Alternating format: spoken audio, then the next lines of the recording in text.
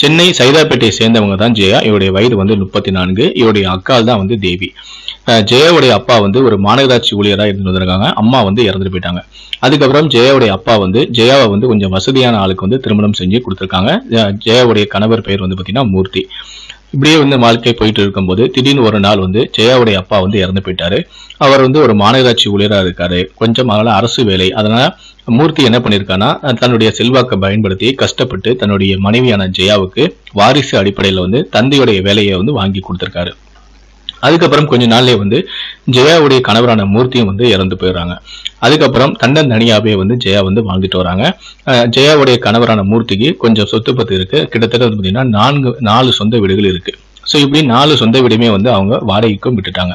So அதில் வரக்கூடிய பணம் வந்து அவங்களுக்கு எக்ஸ்ட்ரா ஒரு மணிமை தான். ஏன்னா ஏற்கனவே வந்து மாநகராட்சி ஊழியராக இருக்கிறதாலையும் அவங்க வந்து தனியாக வசிச்சுட்டு வரதாலையும் அந்த வருமானமே அவங்களுக்கு போதும் அப்படிங்கிறதுக்காக அவங்க அந்த நாலு வீட்டு வாடகை வருமானமும் சரி நம்ம அக்கா வந்து கஷ்டப்படுறாளே அப்படின்னு சொல்லிட்டு வா- அந்த வாடகை வாங்கி அப்படியே தன் அக்கா கிட்ட வந்து கொடுத்துட்டு வந்திருக்காங்க.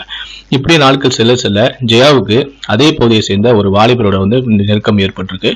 ஒரு கட்டத்தில் அவங்க ரெண்டு பேருமே வந்து அடிக்கடி ரகசியமாக சந்திச்சு தங்களுடைய காதலையும் வளர்த்து வந்திருக்காங்க.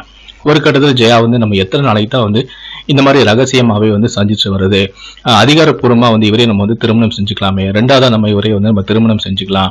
அப்படின்னு சொல்லி ஒரு முடிவு எடுத்திருக்காங்க. முடிவு எடுத்துட்டு நான் இந்த மாதிரி ஒரு இந்த வாலிபரை வந்து நான் திருமணம் செஞ்சுக்க போறேன் அப்படின்னு சொல்லிட்டு தன்னுடைய அக்காவான தேவிகிட்ட வந்து சொல்லியிருக்காங்க ஜெயா இந்த மாதிரி நான் வரைய நான் வந்து திருமணம் செஞ்சுக்க போறேன் அப்படின்னு சொல்லிட்டு இருக்கும்போது அவங்க அக்கா வந்து யோசிச்சிருக்காங்க. இவ்வளவு நாளா நம்மளுடைய தங்கை வந்து நமக்கு வந்து பண உதவி செஞ்சுட்டே வந்திருக்காங்களே. ஆனா வந்து இப்படி திடீர்னு வந்து அவர் ரெண்டாவது கல்யாணம் பண்ணிக்கிட்டாங்கன்னா இது வரைக்கும் அவளுக்கு குழந்தையும் இல்லை. ரெண்டாவது கல்யாணம் பண்ணிக்கிட்டா ஒருவேளை அவருக்கு வந்து குழந்தையும் வந்துருச்சு கணவனும் இருக்கான் அப்படிங்கும்போது அந்த வீட்டு வாடகை வரக்கூடிய வருமானம் நமக்கு வராத என்ன செய்யலாம்? இந்த கல்யாணத்தை நம்ம எப்படி தடுத்து நிறுத்தலாம் அப்படின்னு சொல்லி யோசிச்சுட்டு இருக்காங்க. ஒரு கட்டத்துல எல்லை மீறி நம்ம ம- க- நம்மளுடைய தங்கையை வந்து நம்ம கொலை செஞ்சிட்டோம்னா அவருடைய சொத்து பத்து எல்லாமே நமக்கே வந்துடுவேன் அதுக்கப்புறம் நமக்கு எந்த விதமான தொந்தரவும் இருக்காது அப்படிங்கிற மாதிரி ஒரு விபரீதமான ஒரு முடிவுக்கு அவங்க போயிட்டாங்க. இதனால வந்து பாத்தீங்கன்னா கடந்த திங்கட்கிழமை என்று அவருடைய வீட்டுல வந்து ஜெயா வந்து மர்மமான உரையிலும் இறந்தும் கடந்தாங்க. ஸோ அதுக்கப்புறம் வந்து தேவி வந்து என்ன மாதிரி நாடகம் பண்ணாங்கன்னா ஜெயாவுக்கு ஏற்கனவே வந்து வயிற்று வந்து ஒரு கட்டி இருந்திருக்கு. அதனால அந்த ஆப்ரேஷன் நாங்கள் பண்ணியிருக்கோம் திடீர்னு அவருக்கு வந்து அந்த வயிற்றுவலியில் ஏதாவது ஒரு பிரச்சனை ஏற்பட்டிருக்கு. பேதி ஆகிய வந்து அவள் வந்து இறந்து போயிட்டா போல அப்படின்னு சொல்லி அவங்க நாடகம் பண்ணியிருக்காங்க. இந்த விஷயத்தை எல்லாருமே வந்து அக்கம்பக்கத்தில் இருக்கவங்களுடைய வந்து சொல்லியிருக்காங்க. ஆனால் இந்த விஷயம் வந்து அக்கம்பக்கத்தில் உள்ளவங்களுக்கு சந்தேகத்தை ஏற்படுத்தியிருக்கு.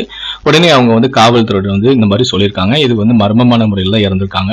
அதெல்லாம் நீங்கள் வந்து போஸ்ட்மார்ட்டம் பண்ணுங்க அப்படின்னு சொல்லி சொல்லியிருக்காங்க. உடனே போலீஸும் வந்து அவங்களுடைய உடலை எடுத்துகிட்டு போயிட்டு பிரேத பரிசோதனை பண்ணியிருக்காங்க. அதில் அவங்க கழுத்து நேர்ந்து தான் வந்து கொலை செஞ்சுருக்காங்க அப்படிங்கிறத கண்டுபிடிச்சிருக்காங்க. உடனே அவர் அக்காவனை தேவிட்டு வந்து விசாரணை நடத்திருக்காங்க விசாரிக்கும் போது தான் அந்த தேவி வந்து சொல்லியிருக்கா இந்த மாதிரி நான் வந்து ஒரு பத்தாயிரம் ரூபா கொடுத்து என்னுடைய மாமாவை நான் அனுப்பிச்சு வச்சேன்.